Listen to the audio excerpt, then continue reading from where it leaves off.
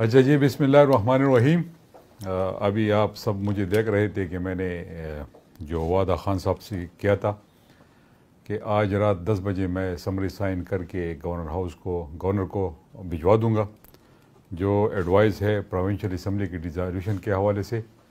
तो समरी तो मैंने साइन कर ली है और अब ये कुछ ही देर बाद गवर्नर हाउस पहुँच जाएगी। अ, जो खान साहब का विजन था और जो उसका हुक्म था उसके मुताबिक सवा चार साल तकरीबन खैबर पख्तनख्वा में हमने हुकूमत की और जो हमसे हो सका हमने अपने लोगों के लिए किया। आ, बाकी इन अब जो समरी मैंने साइन किए ये समरी डिज़ाल्व हो जाएगी और नौवे दिन के अंदर अंदर इलेक्शन में हम जाएँगे। तो इन दोबारा दो तहाई अक्सरियत से जीत के वापस अकेले खैबर पख्तनख्वा में नहीं बल्कि पूरे पाकिस्तान में हुकूमत बनाए बनाएँगे।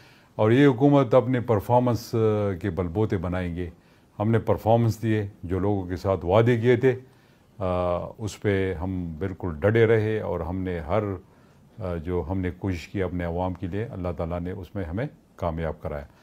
बाकी जो लोग ये समझते थे कि हम एडवाइस नहीं भिजवाएँगे तो ये उनकी भूल थी और ख़ास कर जो खैबर पुख्तनख्वा में इम्पोर्टेड गवर्नमेंट के अपोजिशन है तो मैं उनको आज ये बताना चाहता हूँ कि न मैंने किसी को मैसेज भिजवाया था और न मैं किसी को मैसेज भिजवाऊँगा। खान साहब कहेंगे तो हम अपनी जाने भी उन पर कुर्बान करने के लिए तैयार है। ये तो एक इसम्बली की डिज़ोल्यूशन थी जो उनका हुक्म था। उनका हुक्म सर आँखों पे और अभी मैंने इसको साइन कर ली है। तो मैं पूरे खैबर पुख्तनख्वा के लोगों को मुबारकबाद देना चाहता हूँ।